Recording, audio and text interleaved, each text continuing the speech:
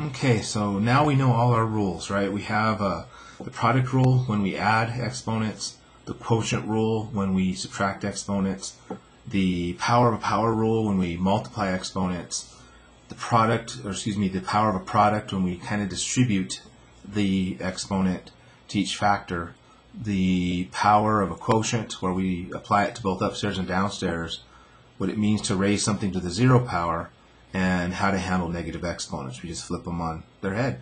Give them, it's kind of like a reciprocal. So let's go ahead and use that. Um, there's a lot of school for thought on how to handle uh, expressions with negative exponents. Uh, I kind of walk back and forth. I, they basically follow all the same rules. So you can essentially follow all the same rules, and then I like to save this for last.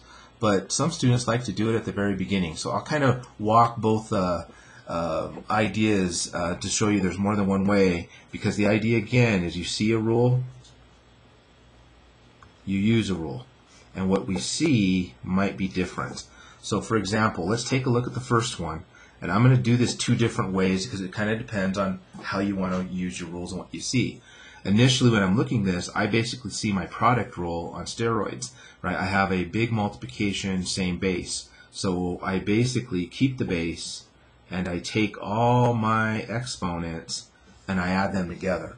Right, so there's my product rule. When I perform that addition, uh, we have a negative 4 to 2. We basically end up with x to the negative 2.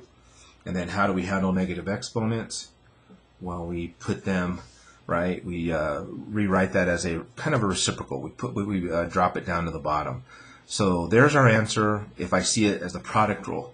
However, some people like to use this rule right off the bat, right? So this x squared is a positive exponent, so it stays up in the numerator, right? And then this is a negative exponent, so it's going to flip down to the denominator. And then x to the negative 3 is a negative exponent, so it'll flip down to the denominator.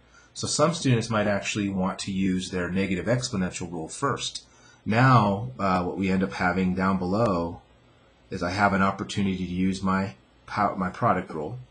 So we have x squared over x to the fourth.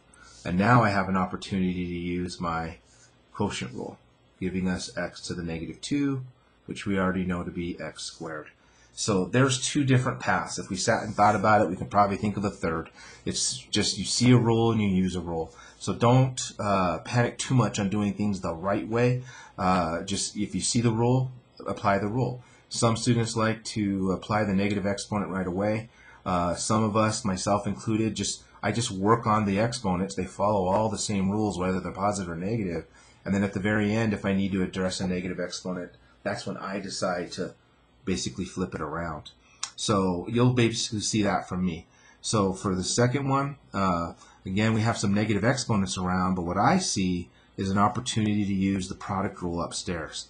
So when I use that, right? That's what I end up getting. So we end up with uh, x to the third upstairs and x to the negative 2 downstairs.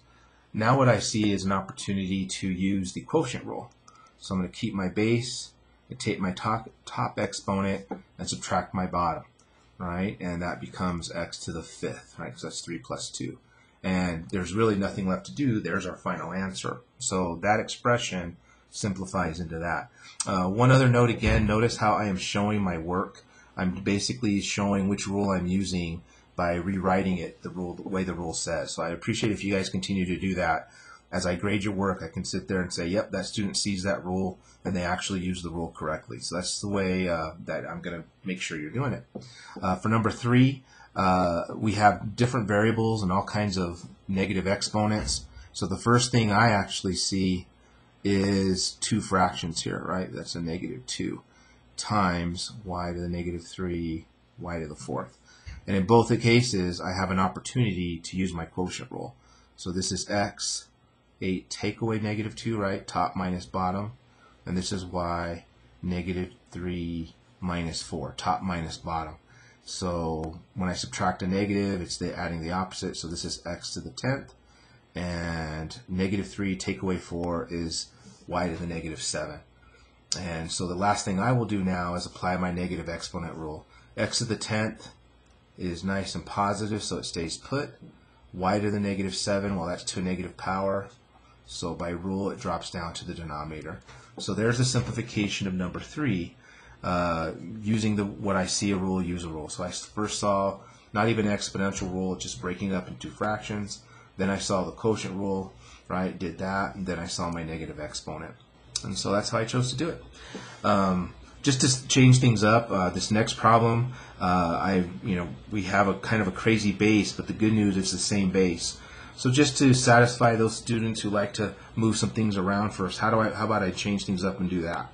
So when I do this, I have this is to a negative exponent, so it's going to drop down to the denominator.